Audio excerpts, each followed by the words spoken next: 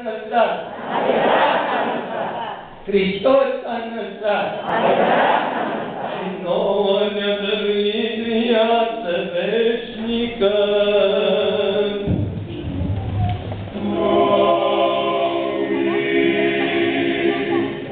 În al preasfințite Părinte Arhiepiscop Teodosie, preacuceți părinți, domnule primar, iubiți credincioși, suntem la această mare sărbătoare pentru statul Pântânele, pentru parohia Pântânele Lăsarea Domnului, este și ziua Hramului, dar este și o zi de sfințire și recințirea unei biserici centenare.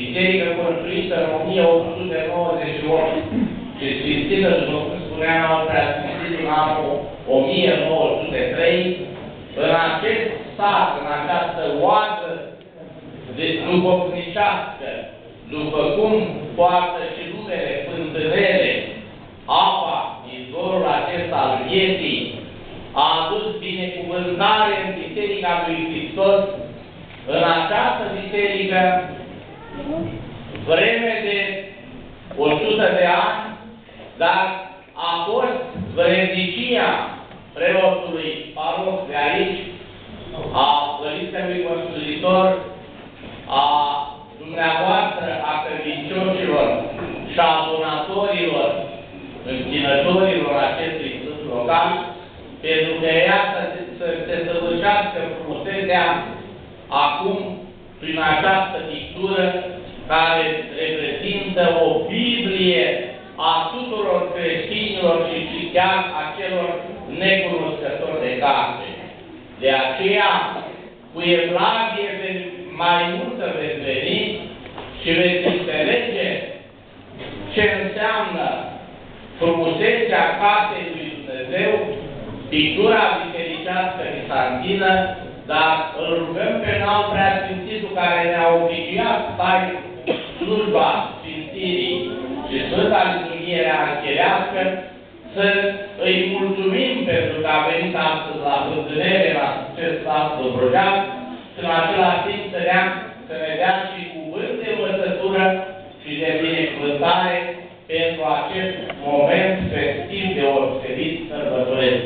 Vă sărutăm dreapta. În numele Tatălui și al Fiului și al Sfântului Duh. Amin. Preacuceni și Părinte Protoieu, preacuceni și Părinte Consilier, preacuceni și preacurioși părinți, stimați domnule primar, stimați titori și binefăcători ai Sfântului Răcașului acestea, iubiți credincioși. Am venit astăzi la Marea Sărbătoare a Înălțării Domnului. De regulă la această sărbătoare eram la catedrală. La marile praznice nu părăsesc catedrala. Dar pentru lucrarea atât de frumoasă care s-a făcut aici, la Pântânele, am făcut astăzi excepție. Pentru că, într-adevăr, biserica aceasta s-a înnoit, s-a luminat și parcă este cu mult mai mare și mai primitoare decât are această haină cerească. Nu mai suntem parcă pe pământ și în cer atunci când intrăm în această Sfântă Biserică. Această sărbătoare de astăzi ne prilejuiește o mare bucurie. Mântuitorul Hristos împlinește acea păgăduință dată ucenicilor. Mă voi sui la Tatăl de unde am venit. Și dacă mă voi sui acolo și pe voi vă voi trage la mine. Iată așadar, această sărbătoare este atât de semnificativă pentru noi, că ne privește pe noi, pe toți creștinii, atât de direct. Mântuitorul n-a coborât din cer pentru sine și pentru noi. Și ne arată de ce a coborât să ne tragă pe noi la cer.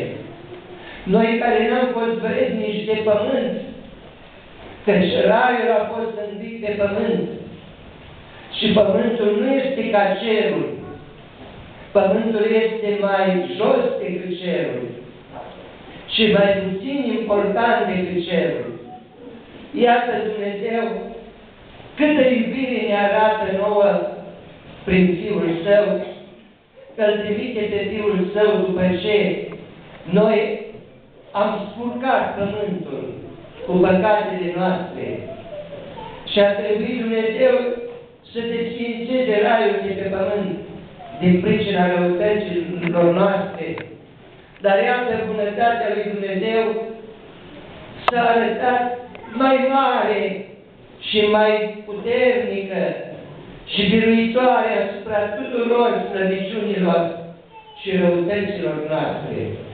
Pentru că bunătatea lui Dumnezeu, prin Fiul Său pe care l-a trimis la noi, ne cheamă acum la cer. Am avut o locuință modestă pe pământ, între pomii raiului. Și acum avem o locuință strălucitoare în ceruri, între îngerii lui Dumnezeu. De aceea trebuie să luăm aminte la această sărbătoare ce lumină și ce bogăție și ce demnitate ne aduce nouă tuturor. Fiind noi căzuți în adânc, Fiul lui Dumnezeu s-a făcut om. Și nu s-a făcut om ca noi, luând păcatul, ci fără de păcat. Dar a luat rănile păcatelor noastre, să le poarte și să le vindece. Cu toate că era o persoană, în persoana sa, care era și dumnezeiască și omenească, era trupul nostru. Și trupul nostru pe care l-a luat era doar plin de răni și fără de vinovăție. Și nu erau de ajuns rănile pe care le-a primit. A luat și alte răni.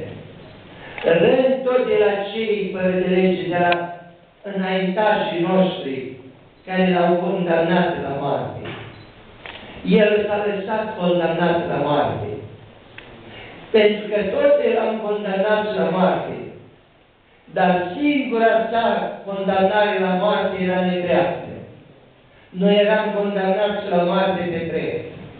El era pe nedrept condamnat la moarte, că n-avea păcat.